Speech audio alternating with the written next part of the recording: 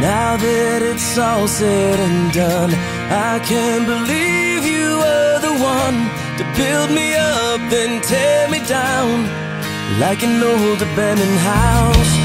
What you said when you left just left me cold and out of breath. I fell too far, was in